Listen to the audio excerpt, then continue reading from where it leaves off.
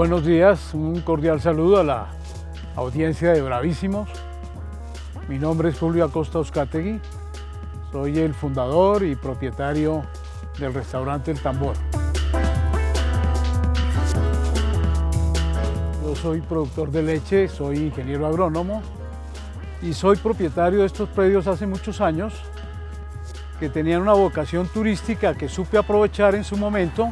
En el año 72 fundamos un restaurante muy prestigioso que se llamó Hacienda Pipintá. Funcionó por muchos años, 25 años, pero de un momento a otro, en el año 2000, decidimos hacer un cambio drástico y convertimos el sitio en un sitio más cerca de la familia, más práctico, eh, aprovechando la gente que venía aquí los domingos y nació el restaurante El Tambor.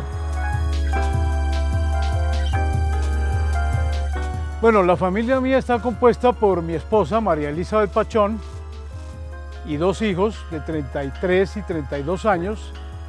Mi esposa María Elizabeth es la persona que se encarga del manejo y la gerencia general de la empresa. Mis dos hijos, Felipe y Marcela, el uno es eh, administrador y la, hija es psicóloga.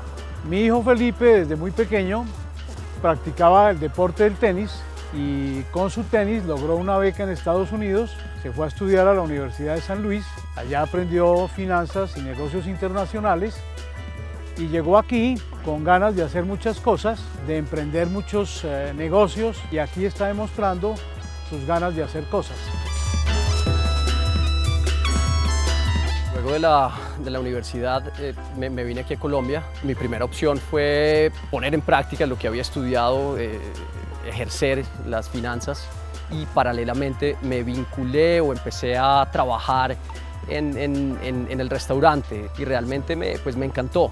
A raíz de eso, un día senté a mis papás en la sala y les propuse pues, lo que podría ser una expansión a corto y largo plazo del restaurante. La primera propuesta a corto plazo era abrir una sede sobre la autopista norte, que mal que bien es una de las vías más transitadas de este país, eh, haciendo otro, unos eventos que yo hago, que es otro emprendimiento, una de las primeras cosas que hice cuando llegué a Colombia, que son asados a domicilio. Conocí a las propietarias de un predio muy valioso en, sobre la autopista norte y pues luego de muchas conversaciones, de varios negocios, negociaciones llegamos a, un acuerdo muy, muy bueno para ambas partes y pues de ahí salió la nueva sede del restaurante El Tambor, eso fue hace ya cinco años, en el 2010.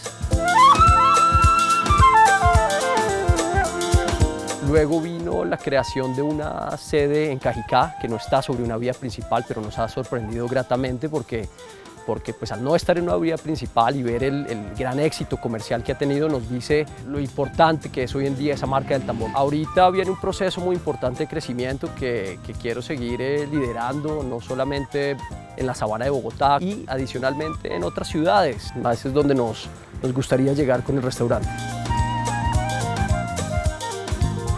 Para tener éxito en un negocio, yo diría que lo primero nace de una idea, de una idea lógica, de una idea sensata que, se pueda llevar a cabo. Hay una cosa muy importante que es la perseverancia. El éxito de un negocio reside en perseverar. Es muy importante ser uno constante, pero esa constancia no tiene que ir en contravía de innovar. Hay que estar innovando, hay que estar creando. Eso es para mí es lo más importante. Bueno, no, yo lo que más admiro de mi papá es sin duda pues algo que, que, me inculca mucho y es, y es siempre una palabra y es tratar de ser humilde, siempre. Y dos, lo que ha sido como papá, eh, acabo de tener un hijo y, y echa uno la película para atrás y ve lo importante que es pues todas esas enseñanzas creciendo y lo, lo valoro hoy en día eh, aún más. Entonces, eh, el papá que ha sido, la persona que ha sido, mamá también, claramente, y bueno, las personas que son.